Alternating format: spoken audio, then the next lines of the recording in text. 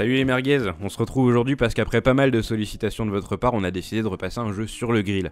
La formule a néanmoins un petit peu évolué depuis la dernière fois puisqu'on s'y est cette fois-ci mis à plusieurs pour vous offrir trois avis qui se confrontent ou qui s'accordent selon les différents aspects du jeu. Et le jeu en question c'est Hellblade de Ninja Theory qui est sorti en août 2017 sur PS4 et PC, puis 8 mois plus tard sur Xbox One avant de finalement débouler bah, là sur Nintendo Switch en avril 2019. Comme ça pas de jaloux, tout le monde peut s'y essayer. On n'a bien sûr pas pu essayer la version Switch pour cette vidéo, mais il fait quasiment aucun doute qu'en dehors d'une petite perte graphique euh, totalement logique, l'expérience devrait rester la même. C'est un titre qui nous a pas laissé indifférents et vous allez voir que trois avis valent vraiment mieux qu'un, tant nos ressentis et nos expériences n'ont pas été les mêmes. Dans Hellblade, on incarne Senua, une guerrière atteinte de troubles mentaux. On la retrouve dans l'enfer viking à la recherche de l'âme de son amant décédé.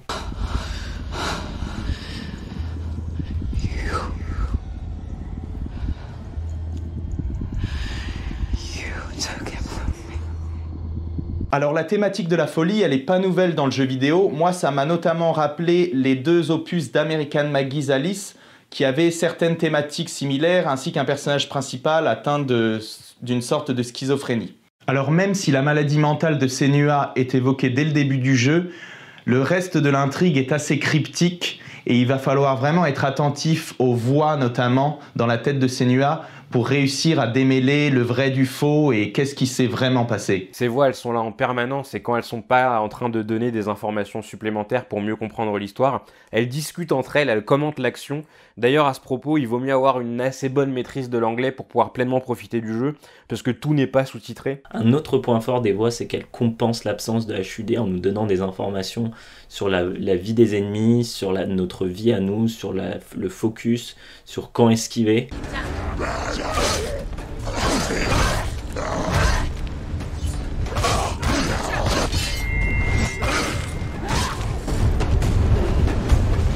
C'est un plus l'intervention des voix euh, durant les combats parce que ça permet de donner un petit coup de pouce aux joueurs. Parce que Hellblade, c'est un jeu qui est très beat'em up traditionnel. Au final, il y a une grosse gestion de l'espace qui est nécessaire. Il faut en permanence avoir tout le monde dans son champ de vision. Et au début, on a un petit peu de mal avec ça. Et le fait que la voix te guide et te dise attention, il y a un mec qui est derrière toi qui va t'attaquer, eh ben c'est pratique. Souvent, il est arrivé trop tard pour moi. Alors peut-être que j'ai des mauvais réflexes. Mais bon, on pourrait aussi euh, les accuser de compenser peut-être certains problèmes de game design et de caméra avec cette astuce. Au début, les combats sont assez intéressants parce qu'on ne sait pas trop à quoi s'attendre, parce qu'on n'a pas de tuto. Le seigneur est assez lourd, donc on ne sait pas s'il faut parer ou s'il faut esquiver.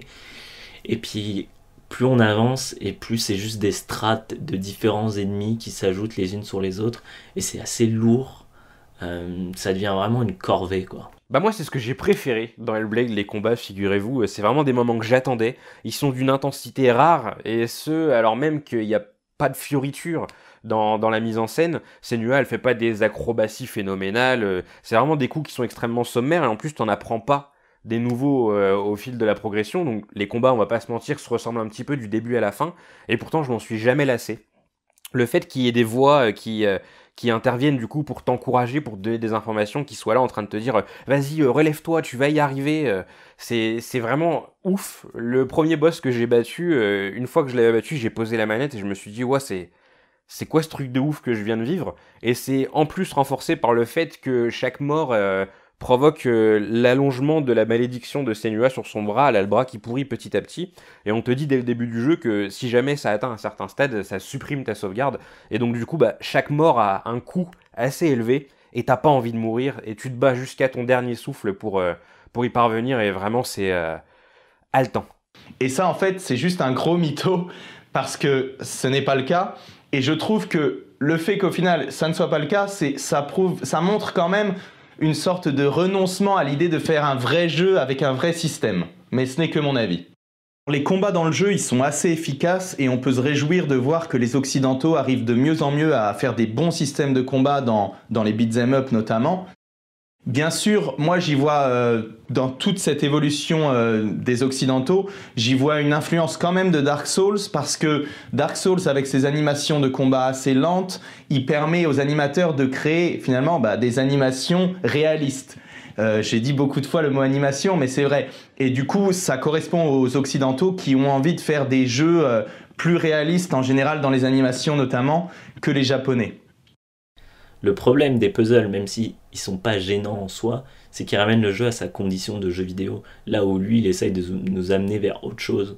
On se retrouve dans des arènes euh, avec un personnage assez lourd, à aller de, de truc en truc. C'est vrai que ça traîne. Hein. C'est, euh, ils ont mis un bouton pour courir. Je crois que c'est euh, LB ou RB, enfin un des deux boutons de tranche. Et du coup, j'ai passé tout le jeu avec ce bouton enfoncé. Je me disais, mais pourquoi c'est pas le, la marche normale au final? Parce que tu passes tout ton temps à essayer de faire accélérer un petit peu le personnage qui se traîne. Ça ralentit le rythme. Et au final, comme les combats, ça, ça crée un sentiment de, de répétition dans tout ce qu'on fait, avec un couloir, une arène avec des personnages, des, monstres, une arène, un couloir avec des énigmes, une arène, un couloir avec des monstres, etc. etc. Et ça, ça, ça tue vraiment euh, la narration. Alors le jeu, il a beaucoup de bonnes idées, mais malheureusement, peut-être à cause des restrictions du budget, ces bonnes idées sont réutilisées et réutilisées à outrance, jusqu'à parfois un petit peu saouler le joueur. C'est vraiment découpé à la truelle, les phases dans Hellblade. C'est une phase combat, une phase puzzle, une phase puzzle, une phase combat. Euh, ça casse un petit peu le côté anxiogène du jeu, mine de rien, parce qu'au début, tu sais pas à quelle sauce tu vas être mangé, surtout que le jeu est très cryptique, donc tu sais pas ce que tu fous là, tu sais pas ce qui va te tomber dessus, et en fait, très vite, tu comprends que bon, bah là, c'est une phase puzzle, donc il va rien m'arriver, et puis tu vas arriver dans une salle très souvent bien circulaire et assez grande, et là, tu te dis, bon, bah ça, ce sera une phase combat, je vais me battre un petit peu, puis je vais retourner à la suite. Euh, il y a peut-être deux fois dans le jeu où tu vas avoir des combats un petit peu surprises qui vont tomber euh, sans que tu t'y attendes, mais euh, la plupart du temps, tu sais à quelle sauce tu vas être mangé et du coup, tu prends confiance, ce qui est pas normal. Je pense que ça devrait pas être le cas vu l'univers d'Hellblade. Alors personnellement, j'ai pas vraiment été bluffé par la performance capture du visage de Senua.